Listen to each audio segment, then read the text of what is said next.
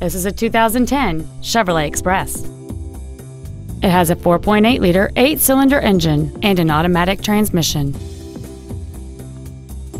Its top features and packages include the appearance package, an auxiliary transmission cooler, a security system, a full-size spare tire, a low tire pressure indicator, halogen headlights, an anti-lock braking system, a passenger side airbag, and this vehicle has fewer than 28,000 miles on the odometer.